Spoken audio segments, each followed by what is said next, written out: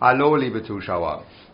Ja, äh, wie ihr wisst, äh, berichte ich gerne aus dem Leben hier von Thailand, vor allen Dingen hier von Koh Samui. Und ich habe jetzt wieder eine Lebenserfahrung äh, vor ein paar Tagen hinter mir gebracht. Äh, vielleicht haben einige den Film gesehen. Äh, ich verlinke den mal, äh, wo es darum geht, welche Autoversicherung man abschließen soll. Das ist ja schon das Stichwort. Jetzt habe ich nicht nur äh, einen Unfall kennengelernt, wo ich nicht selber schuld war, sondern auch, wo ich schuld gewesen bin. So, aber alles von Anfang an. Also wenn ihr nach Thailand kommt, beziehungsweise wenn ihr hier wohnt, dann gebe ich jedem den guten Rat, äh, sich die Telefonnummer aufzuschreiben von der Touristenpolizei. Ähm, weil die immer einen Dolmetscher dabei haben, beziehungsweise die sprechen fast alle auch Englisch. Äh, die haben manchmal auch Volontäre dabei, äh, die dann übersetzen.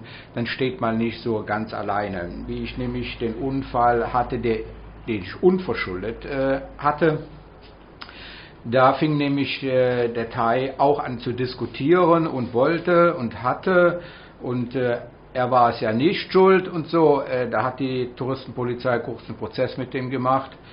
Die hat die Beweisermittlung aufgenommen und äh, mir dann zugesprochen, dass bei dem Auffahrunfall er schuld gewesen ist. Also das solltet ihr euch beherzigen. Versucht die Telefonnummer von der Touristenpolizei ausfindig zu machen. So ja, äh, ich habe ja jetzt vor zehn Tagen habe ich meine Versicherung abgeschlossen bei JIP und äh, ja, jetzt für ein paar Tage hatte ich auf einem Parkplatz äh, leider beim Rückwärtsfahren einen Unfall gehabt. Äh, nach, ich glaube, über 25 Jahren habe ich jetzt keinen Verkehrsunfall mehr gehabt, wo ich selber schuld war. Da bin ich jedenfalls jemand in die Seite dann reingefahren und äh, wir konnten uns sehr schnell äh, einigen, dass es meine Schuld gewesen ist. Und in dem Fall äh, brauchten wir dann also auch keine Polizei. Was man denn machen muss. Man hat ja von seinen Versicherungsagenten, in meinem Fall war es ja die JIP, die Telefonnummer, den ruft man denn an oder die ruft man denn an und die ordert einen Versicherungsspezialisten, der zu einem Unfallort hinkommt oder wo die Fahrzeuge stehen nach dem Unfall. Ähm, das ist also einer, der praktisch äh, wie die Polizei arbeitet äh, in Deutschland. Der macht also auch Skizzen, wie das gewesen ist. Äh, die, die gegnerische Partei wird dann gefragt. Übrigens, der hatte, kein, der hatte keine Versicherung, dieser Thai-Mensch. Ähm, die war abgelaufen und äh, wenn man natürlich mit so einem Unfall hat, dann hat man ein Riesenproblem, das Geld zu bekommen. Ja, jedenfalls, okay, das ist ja seine Sache. Der äh, äh, bespricht sich dann also äh, mit der Gegenpartei, auch mit mir, was denn gewesen ist, macht dann Fotos von beiden Autos, guckt die Papiere nach, äh, ob ihr auch einen Führerschein habt, das ist ganz wichtig.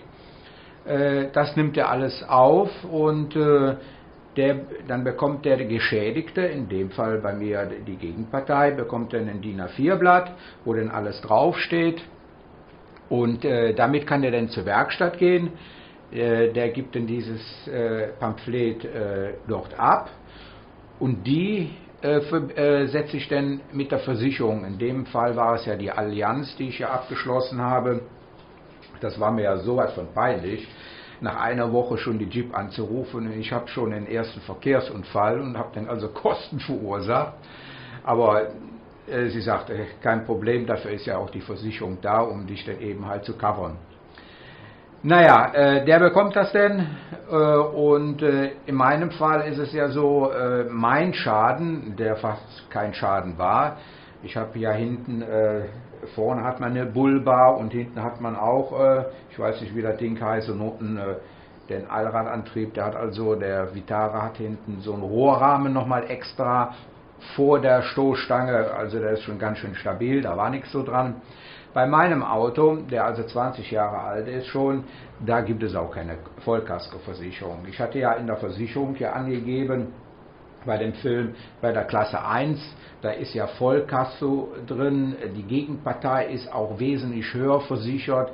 Bei mir war das ja jetzt für eine Million Watt, das sind ja rund 28.000 äh, Euro.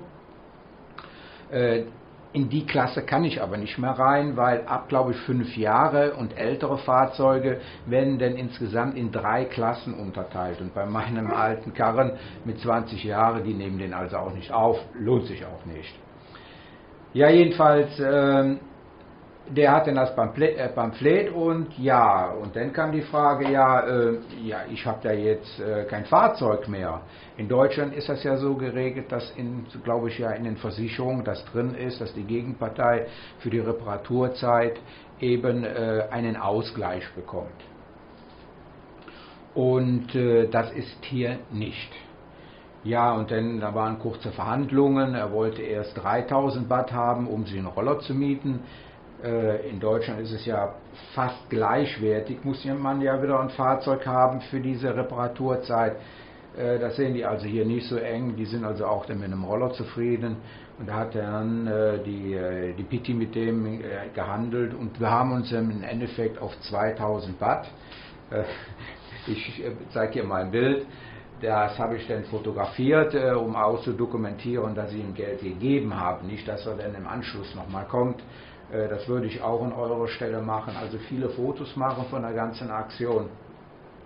Der hat also seine 2000 Watt bekommen und war nach seinem Gesichtsausdruck eigentlich äh, zufrieden. Äh, natürlich hat er jetzt den zeitlichen Aufwand, den er auch mit den 2000 Watt äh, geltend machen wollte, äh, weil die Reparatur, was sagte der, für die hintere Türe war das, das sind vier Türe gewesen, äh, drei Arbeitstage das so 300 Watt kostet ein Roller, da sind wir also bei 900 Watt. Dann hat er also 1100 Watt erhalten für den zeitlichen Aufwand jetzt. Ähm, ja, und er war damit zufrieden. Also eine Abfolge äh, kann man also sagen, ihr müsst erstmal gucken, dass ihr von der Touristenpolizei die Telefonnummer habt, die ruft ihr an, sobald ihr merkt, dass da ein Disput entsteht. Und die kommen dann und die sind auch auf eurer Seite. Das hatte ich immer gedacht, dass sie immer zu den Details halten, aber die Fakten sprechen da und bei meiner Sache war das ganz, ganz eindeutig. Also Touristenpolizei, dann äh, muss man den Versicherungsagenten anrufen. Der Versicherungsagent ruft den Versicherungsfachmann an, der denn auch zu dem Auto kommt. Und auch die Gegenpartei ist da. Der nimmt den Unfall auf dann bekommt der Geschädigte ein Schreiben, wo er mit zur Werkstatt gehen kann und der kann das darüber abwickeln und ihr müsst dann nur noch aushandeln, was die Gegenpartei als Ausgleich für den Ausfall, dass er jetzt eben halt das Fahrzeug für ein paar Tage nicht hat, das müsst ihr also mit dem aushandeln und das war's dann eigentlich. Also wenn man das rüberkommen lässt, dass genauso in Deutschland freundlich sein, keiner will ja bewusst einen Unfall verursachen, dann läuft das genauso hier ab. Die, die Leute sind dann auch froh, dass keiner verletzt worden ist und das war es dann. So, das war meine neue Erfahrung in dieser Woche, wo ich euch daran teilhaben wollte. Okay, tschüss.